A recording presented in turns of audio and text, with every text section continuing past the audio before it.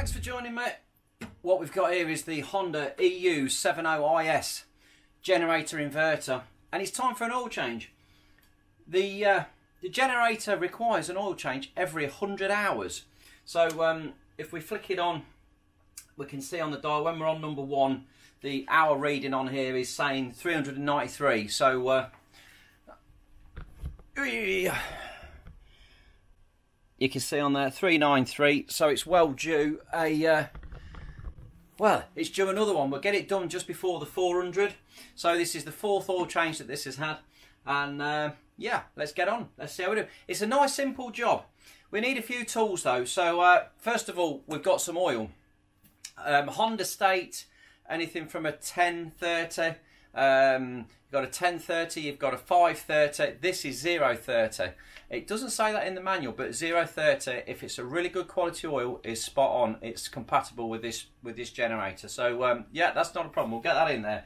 I love this fully synthetic um, Shell Helix Ultra 030 cracking oil. Really good quality oil, and it just works wonders with the machine.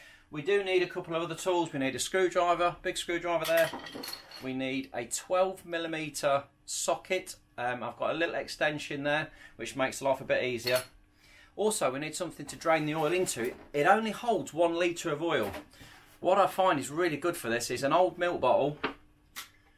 Just chop a little hole in the top. I'll just switch that off a sec while it's starting to flash. We just cut a little hole in the top of this milk bottle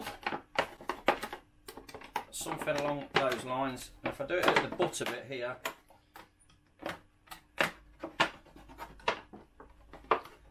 so I'm doing there. Just cut a nice hole in there, and then across the top. So we've got a, we've got ourselves his very own oil can, and it's low to the ground. It's nice and shallow. We haven't got a lot of clearance, and this fits perfectly. So let's get on let's spin the machine round sideways. We've got to go in through the side door.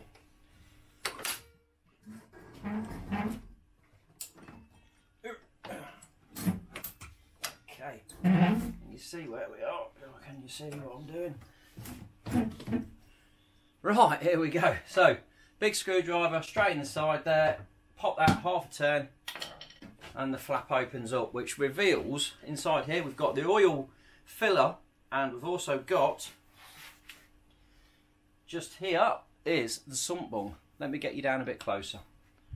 Right, here we go then. So what we're going to need is this little can we've got here that fits underneath the generator nicely. In the bottom here we've got a rubber flap. So we just grab hold of this rubber plug and we just pull it down and that hangs out the bottom there. So we've now got a hole through the bottom. You see my fingers coming up there.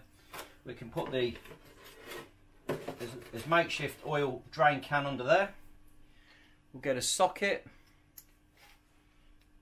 We can crack that off with his hand there. We'll just get that out of the way for a minute. You can see there the oil level hasn't dropped at all. This hasn't used any oil. It's still right at the top, which is just brilliant. Testament to the design of the machine. It is fantastic. We can get a socket on there and we'll crack off. There we go take that off for a minute and we can undo the bung. Nice and gently. And once we get that out of there the oil will start to come out and drain into his new tub at the bottom that we've made. Careful not to lose the washer on there. See the nice alley washer? Don't need to change that alley washer. It will do numerous times um, numerous oil changes. Uh, once it gets deteriorated and a bit skanky, a bit flat, whatever, you can replace them with a new one. Uh, links in the description for this set here. But it shouldn't do because we're not doing this up really tight. We're just gently putting it back in again. So um, you shouldn't need to go too mad with that. Right, let's put that there a second. I'm going to get a bit of, bit of rag. And there it is in all its glory. What a beautiful bit of machinery that is. And that oil there is just draining out nicely into his makeshift container and beauty of that you can pop the end off it to uh, tip it out into another container to get rid of the oil so it's uh, it's a really good idea engine's warm so an important thing to do is to have the machine running get it up to a warm temperature before we do this job it just makes the oil run out really nice and smooth and uh, gets rid of any of the dirty stuff in there. It'll just run through. Still streaming out the bottom a little bit, so we'll just let it run right through. So something else that we really ought to mention is, is one of these. This is um, a clean funnel. Uh, it's fantastic. It's got a little cap on the top. It's got a cap on the bottom. So when we're not using it, we can keep the caps on it and keeps it absolutely spotless. Because you know what it's like in the garage. You leave a funnel out. If it's got no lid on it, dust, debris gets in there. And we're going to put that straight into the engine. So these clean funnels are brilliant. Really good tool for this. I'll put a link in the description. You can get one off Amazon. I think they're only about six quid. Really cheap. So oil now has sufficed there. It's uh, it's a, well, it stopped. It's not coming out anymore. Got a really slow drip. We'll just give that a little wipe down there, and we can get his bung back in again. Just give that a little clean. Just check that wash and make sure it's got no burrs or marks on it. It's not. It's absolutely clean as a whistle. It's fantastic. So we can now drop that back in again. Just making sure we don't cross thread anything and it goes in nice and sweet. Start it with my fingers, there we go. I'll say that because it's not perfectly straight. The frame does interfere slightly. So uh, you could get it across threaded if you were a bit brutal with it. It is only an aluminium um, frame, uh, um, it's an aluminium block, so we've got to be careful, We make sure we do get it in straight. So that's gone up there nicely. We can now just nip that up. You can see how much I'm putting on it because it's such a short ratchet, so it doesn't need a lot. Just nip that up like that. We'll clean up around the bottom here where we've had some, just a little bit of spillage into the frame there. And I'll get this uh, makeshift oil can out of the way, look. And there we have it. And you can see the mucky oil in there. And to be fair, it's not that bad. You know, it's uh, you've seen worse oil than that and that's only one litre. There's one litre of oil there, which is, uh, you know, unbelievable. Really, think that's the same as that. okay, okay. Let's get that out of the way for a minute. Like I say, let's give this a good wipe round underneath as well, where it's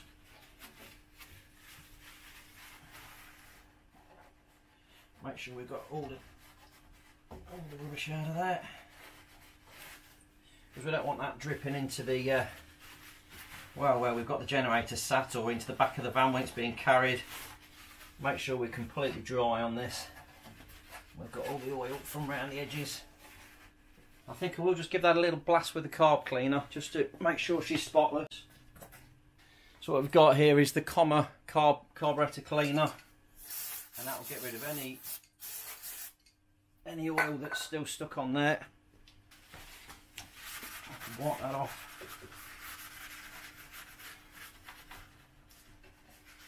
Just make a real proper job of it then. Get that off from anything that's down in the frame there.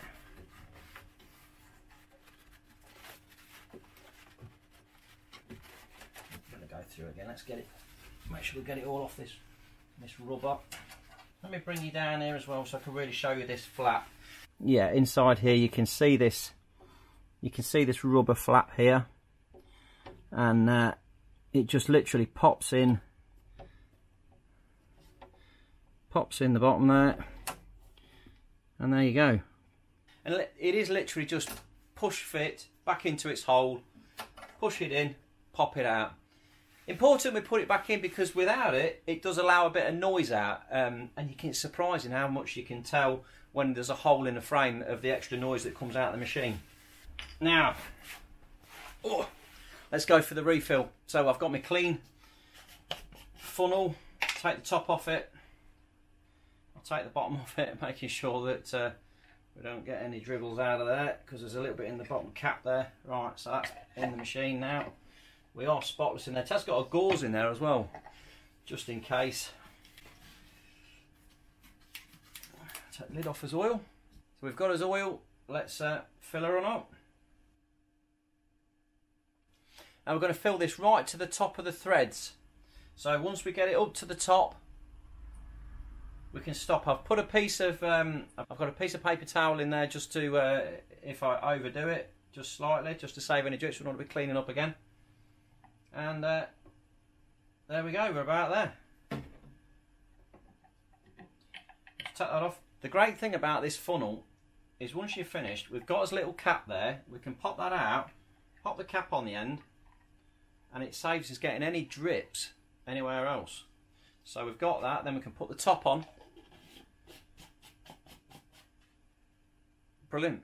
Keeps it all nice and clean, you know, keeps everything, makes this easy to store. Saves you getting oil everywhere, saves getting any dirt in any dust. So that's, that's that sorted out. Now then, what you can see here, I've got my little paper towel there. Oil's right up to the top of the filler neck there. Let me bring you down just so you can see that. So we're right up to the top of the threads on there, just where we need to be.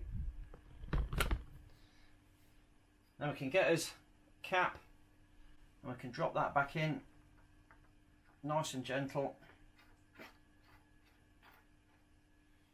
We can do that up just finger tight. There we go. And that is it. That's your oil change complete. How simple is that? It's a cracking bit of kit. Everything's accessible. And uh, nice and easy to get the job done.